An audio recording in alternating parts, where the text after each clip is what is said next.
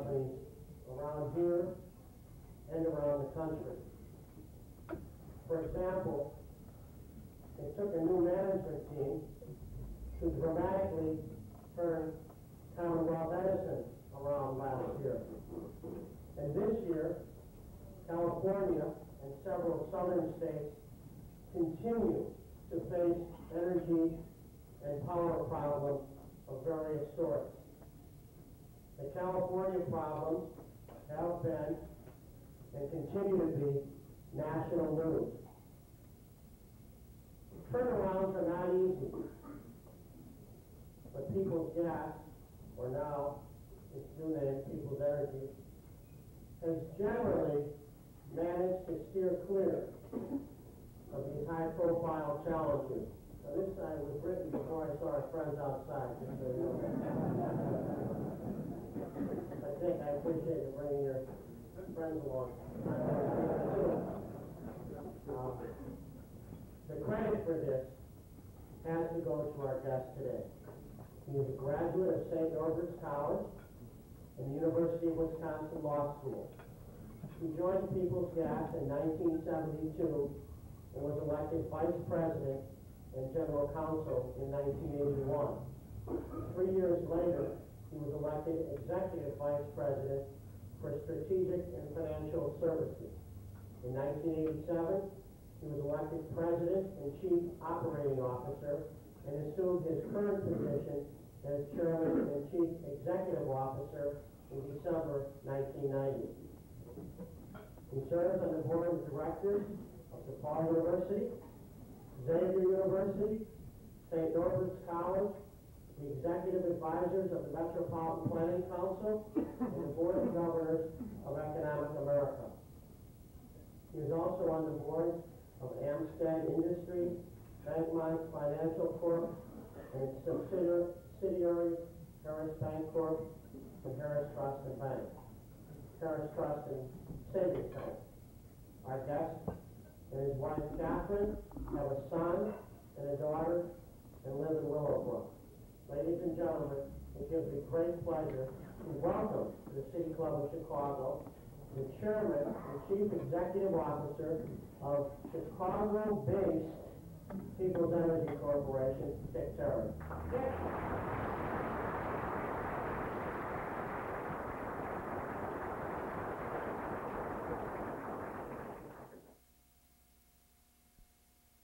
Here in Chicago, through our own Share the Warmth program, we have helped more than 1,000 households with $300 grants towards their heating bills.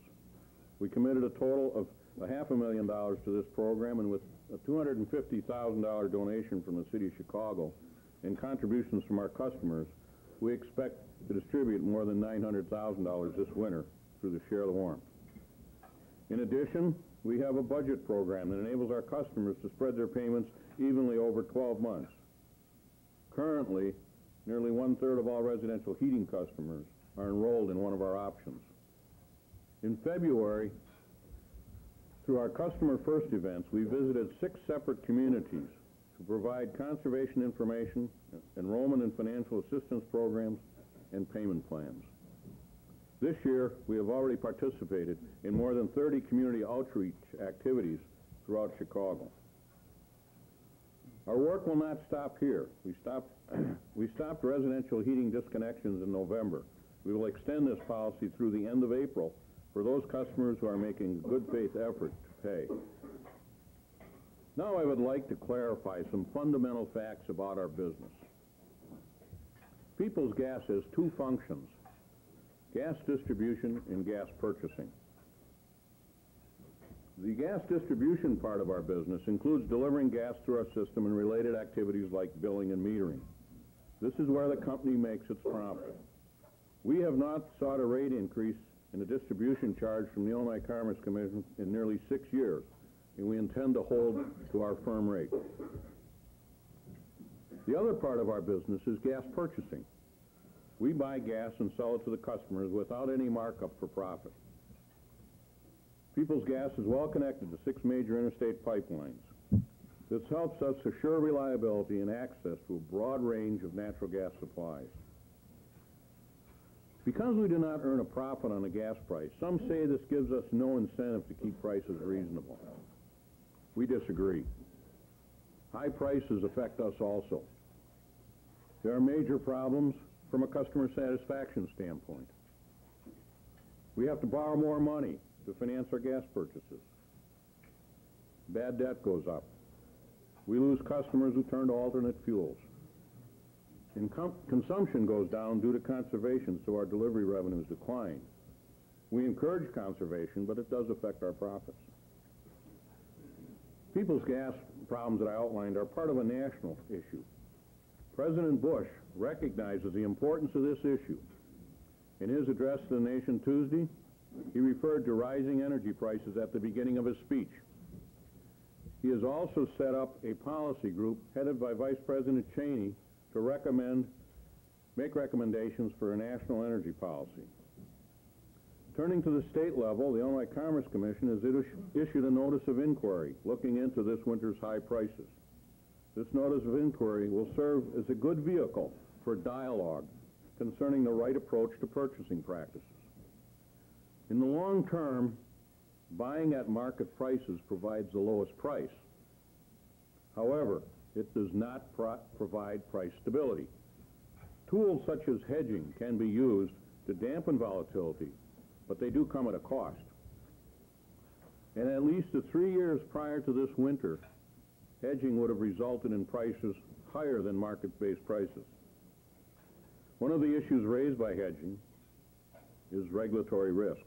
Under current practice, gains would benefit the ratepayer, but losses could be charged to shareholders, which potentially could threaten the financial viability of the company. In order for hedging to be effective, further guidelines would also have to be developed to provide a safe harbor for hedging a portion of the utility's portfolio. Gas utilities need support for choosing price stability over market-based fluctuations. Another layer of issues facing us concerns residential choice of suppliers. Opening the residential market to choice would allow customers to purchase their gas from suppliers other than the utility.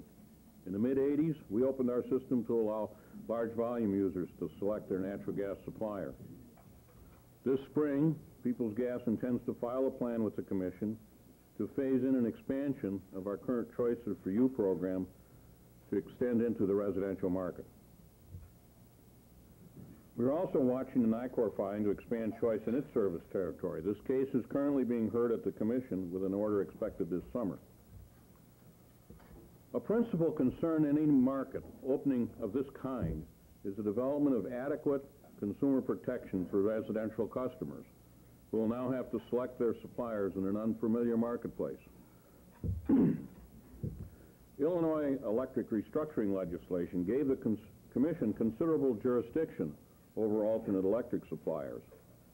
However, this legislation does not extend to alternate gas suppliers.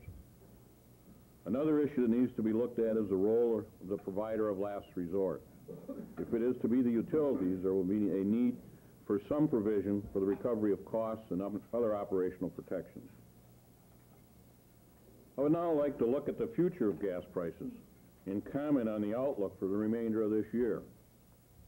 The Department of Energy and Cambridge Energy Resources, a distinguished private consultant, forecast summer prices ranging anywhere between $4.25 and $5.50. Their winter forecast puts prices in the 540 to 550 range. Today, the futures market is in a range of 520 to 550, with very little difference between winter and summer.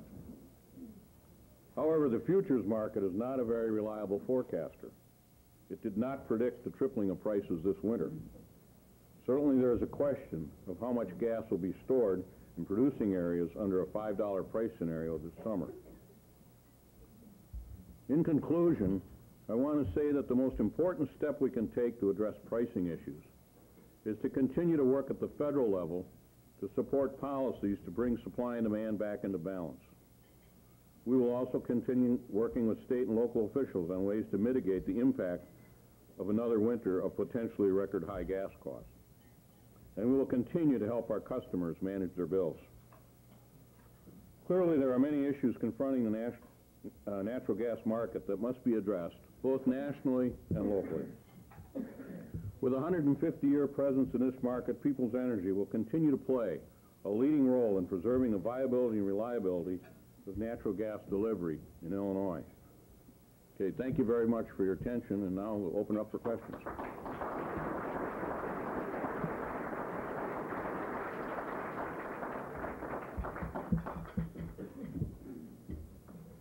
Thank you very much, and uh, we'll now have the questions, comments.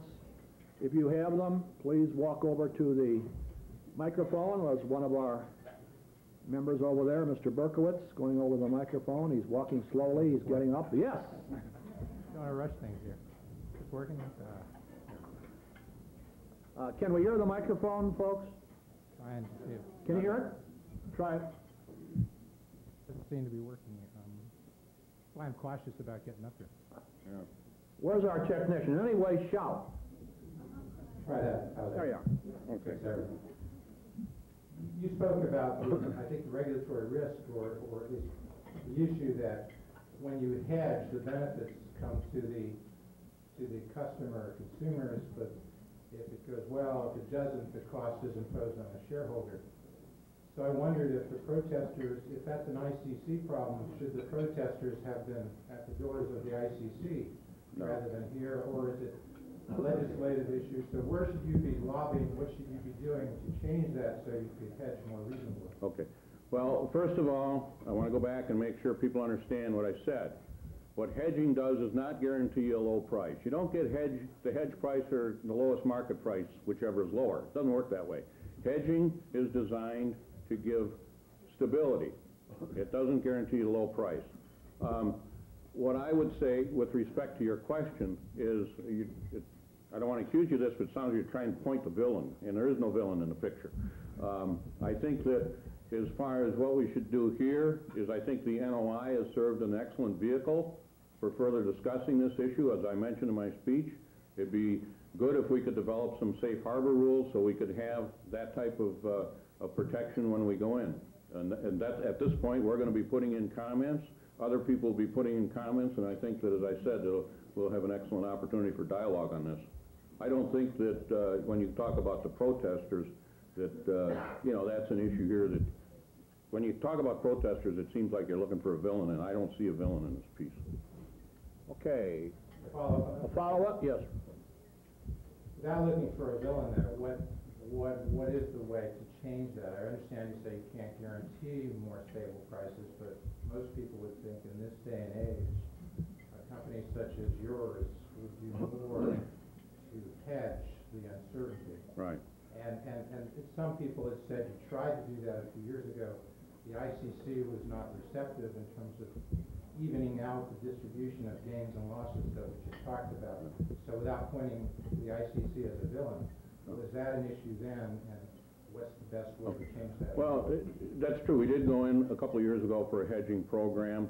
Uh, We were looking for 31 cents. The commission order came out at 25. There were a couple of issues in that case, uh, disagreement, and I'll say somewhat technical rules of evidence. What evidence could be used to support a price? We had five years, and under the statute, you have a one-year period, uh, so that was a problem. There were also a dispute as to what cost could be recovered. And so, as a result, uh, we didn't get the, the price that we were looking for. Interestingly enough, if we had gotten that price, we would have been at or above the market for about a year before the market started to turn around. So there is, if you look back at that, there is evidence that, you know, hedging does not guarantee you the lowest price. Sure, now we all sit here with the benefit of hindsight, and it- it'd be nice to have it in place, but, but what I suggested earlier in my speech in response to your question is, it would be well if we could, if that's the desire of, of people to get more stability, recognize you may pay a higher price, uh, then some type of, um, safe harbor rules would be well. Well, One, one last thing though, if you had gotten that higher price and that had knowledge that rippled through the market, that might have had an effect on long-term supply, ultimately it would have had a dampening effect on prices, at least some would argue. Well, Knowing that you're gonna be able to buy at a higher price in the future might Yeah. allow producers to go out and Yeah, well, this, now you're touching on another point, that this is something else you have to be careful of, because if you do have a program, you can't have a public record spread out over ten months saying what your strategy is gonna be, but it, because it doesn't help you when you go out in the marketplace. It would be nice to have some process that could be very, done very quickly on a basis where we didn't have to publicize everything. Okay, thank you very much. Uh, Further questions, comments? Yes, sir. Ah, I know you. Quinn is the name. one of the protesters. I also happen to be a customer of night, of People's Gas and, uh. No speech, Pat. No speech, Pat, just a question. Pat, you hear me? No speech, just a question. here's the question. Mr. Terry, the ratepayers pay you a salary of one million, three hundred ninety-five thousand, twenty-five dollars last year. In this morning's paper, the headline is utility can't overestimate the trouble its heirs can cause. There are all kinds of problems with estimated bills, with error-prone meter readings, with, uh, prices that have gone beyond limit. Uh, people in Michigan are paying twenty-nine cents a therm, here's a bill. Here in Chicago, we're paying ninety cents a therm. Crain Chicago Business said that your company is not managing risk, it's putting its customer base at risk. What I'm here to ask you on behalf of the customers is, why do you deserve that big salary when you've made all these mistakes and your company has fumbled and bumbled and caused tremendous hardship for literally thousands upon thousands of Chicago consumers? Okay, Pat, you had a number of observations there, and I'm taking one by one. First of all, on the salary, I'm not up here to defend my salary, uh, but you made a mistake. You said the ratepayers are paying 1.4 million. That's not true. Remember I said we didn't have a rate case since 1985? That case had less than half of that in there, so most, there's half of that at least is being picked up by shareholders.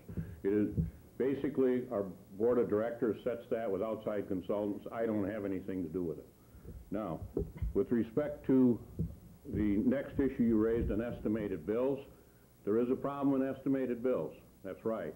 And that's why we put in a system, starting four years ago, that by the end of this year, we will eliminate estimated bills. We will do all that by remote meter reading.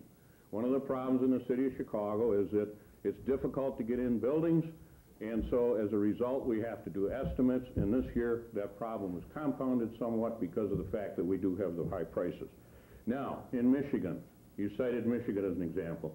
In Michigan, those companies did go in to the commission, and they did get approval for the fixed rate, and they are having problems with it. Uh, the trade press has said consumers is losing a fair amount of money, and I know MCN is now in to change that program. Now, what was your last point? I had I had a call from a lady just yesterday who got a twenty-six hundred dollar bill. Oh, no, your last point related to Crain's. Right, Crain right. Chicago Business. Right, we disagreed with Crain's. I mean, cra- let me point out what you're talking about here. Let's just give you an example. Let's go back to our case that I talked about. Uh, we were at thirty-one cents. The commission order was, uh, twenty-five and a fraction, let's say twenty-six cents. Five cents of difference. Okay, let's say we went ahead anyway and hedged, okay, without commission approval. Now we got a commission order that said you should have used twenty-five plus, and it's thirty-one cents. Let's say the price never went up and we had all, you know, interveners opposing us. The price didn't go up. I got five cents a therm, times my volume, let's say I hit the whole thing, it's hundred and forty BCF. I right now have the total, five cents times hundred and forty BCF is seventy million dollars, that's basically the risk, the total profit of the company. Put it in perspective, our gas costs this year are gonna be somewhere in the range of nine hundred million dollars our profits are less than ten percent of that. So there's only so much you can play with. And I disagree with you that our company is not well-run. I think we've done a good job. We have held our costs down. We have not gone in for rates since nineteen eighty-five in a market in the city of Chicago that's not growing. So if you, I disagree with you on that. You're losing your customers right now by the bungling of your company that's caused so much hardship for so many people. You haven't answered the question about, about why you as a former president of the American Gas Association didn't anticipate the problems and, pr- and manage the risk in a way that didn't put the entire. I think I did answer that question about three times, Pat. Well, you'll have to answer your customers sooner or later. Okay. Okay, Patrick Quinn, give him a hand anyway, because he's a nice guy. He's a former state treasurer of the state of Illinois and uh, frequently on my radio show. Next question. Yes, sir. Yeah, I'm Patrick Giordano with the energy law firm Giordano and Associates. I'm sure it's one time Dick would rather see me than the prior speaker. Usually,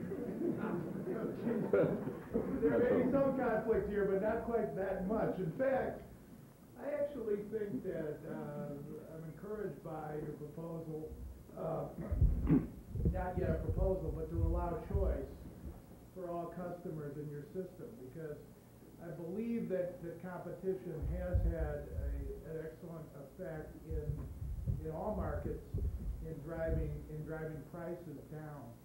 And, but what I'm concerned about is that obviously there's problems now with the NICOR Customer Select Program being opposed by the Citizens Utility Board. So the devil's in the details and how, what you, are you really planning to propose, if you know, and how do you plan to avoid those sorts of problems so that we can actually get the program in place that can allow choice for all customers in your service territory?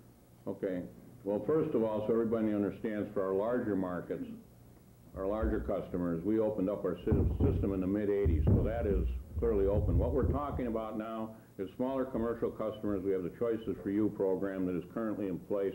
We have a filing in place now to make that permanent. Our intention is to take that same type of program and apply it to residential customers as well. There are issues, as I mentioned in my speech, in how, how we handle this. Uh, we're watching the NICOR filing to see what commission policy may be there, but we will have our filing on file this spring. We're still working on it, so I'm not really in a position, Pat, to give you the, the details of it at this point. All right, but you, you're, are, are you, are you going to be working with, uh, possibly working with interested groups to, to get agreement prior to the filing? Well, I would think so. Certainly, we would be touching base with, uh, you know, we know who the interested groups are, and to the extent we can iron things out in advance, we certainly would want to do that.